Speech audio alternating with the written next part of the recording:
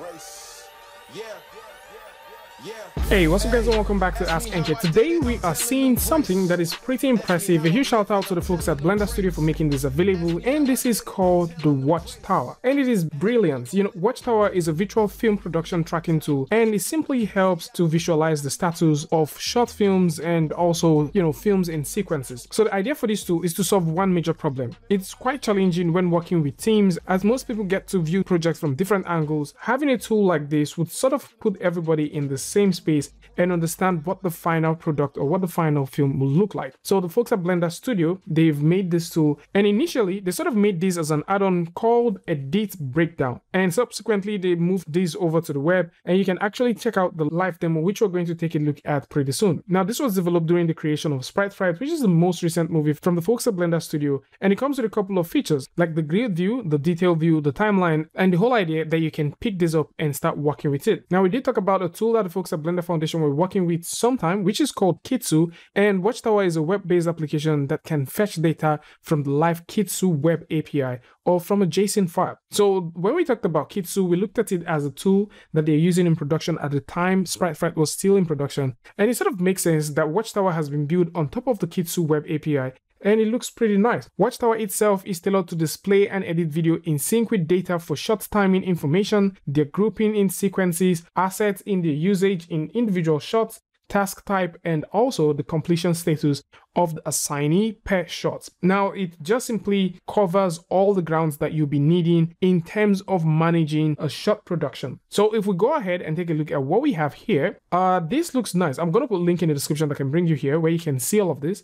And first off, let's talk about the shots. So individual shots like this, you can see that if you go ahead and uh, click on any of the shots, they get selected. And of course, you can simply scroll through by simply using the playhead and you can see that shot play. So you can hop onto any shot at all and take a look at the shot and see what's going on. You can see the duration of the shot. You can tell how many asset gets to be used. In this case, there's no asset being used. You can tell the task that was placed on this one and you can see the start time. So if we also go over to a shot like this, you can also see the very same thing. And uh, let's see if we can catch one that actually has asset. Cool. So with this, you can see that we have five assets. You can see the task. This is task number seven. And you can also tell the duration. Now, regardless of this, if you go over to the show section, you can show the current sequence. And within the current sequence, you can tell what is going on. So you can see this is the current sequence at this time.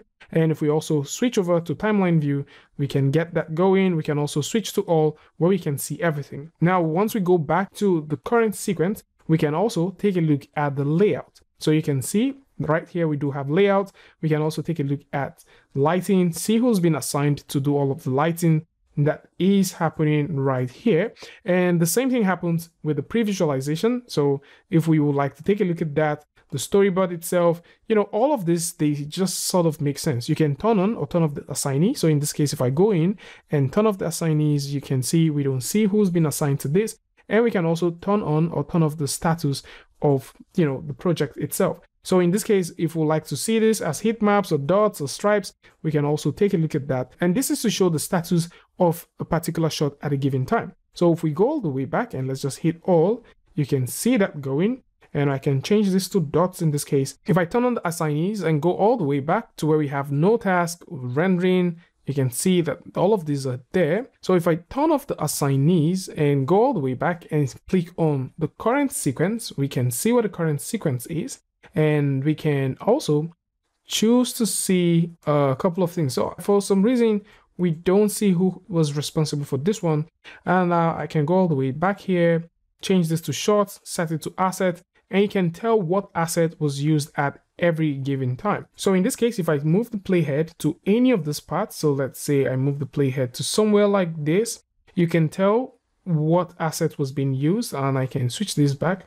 So you can tell what asset was being used. If you would like to see this based off the concept itself, you can see based off the concept. You can also see this based off the shading and you can see it based off rigging. So we can move this and uh, you can tell. So all of these highlighted ones are the assets that are being used at a given time. And uh, we can move these all the way to a point like so, and we can see all of this. So it just simply makes sense to see that there is something that exists like this And for those who are considering making short films, or maybe you're thinking about working as a team with Blender, I think taking advantage of a tool like the Watchtower would definitely come in handy. And something else which is also pretty impressive that you can also see is right here we have the shot, storyboard, pre-visualization, layout, all of these things. And depending on which of these views that you're switching to, you can see all of this and take advantage of them. It's also worth knowing that now that we're looking at the assets, you can click on any of these assets and tell where they were used in the scene. So in this case, if I go ahead and click on the lighter, for example, you can see that we have the lighter being used here, the lighter is being used here, and of course, there is also the lighter being used here. So of course, you know, you don't really get to see it, but it is within that shot and uh, it counts for that. At the same time, if you go ahead and click on the snail, I think we do have the snail here and we have the snail right there.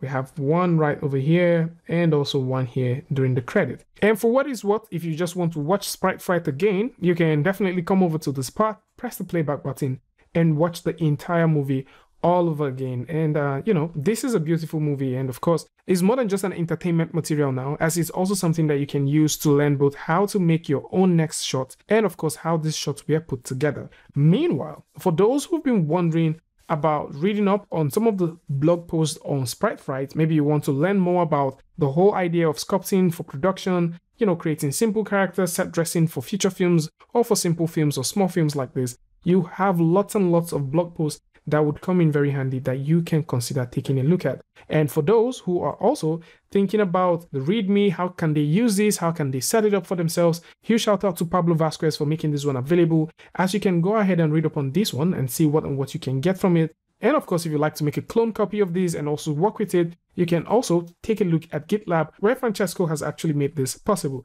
It's also worth knowing that you might want to consider checking out Zou as this is compatible with the Zou backend. And for those who haven't heard about Kitsu before, you want to see the Kitsu add-on for Blender as it's a production management tool that was developed for Sprite Fright. So the entire article that I'm also going to link in the description will guide you through how you can work with this and also a couple of things you need to know about the Kitsu add-on. And this comes full circle, especially if you're considering making a short film with Blender or you like to test out this new set of management tools. So this is more like it for those who like to take a look at all of this. Probably you want to read up on it, you want to test it out for yourself. Links to this is going to be in the description, so do well to check it out. Tell me what you guys think about this one in the comment section. And of course, if you like this video or you like something from this, you can go ahead and give a like and don't forget to share with a friend. And until I see you guys in the next one, Peace.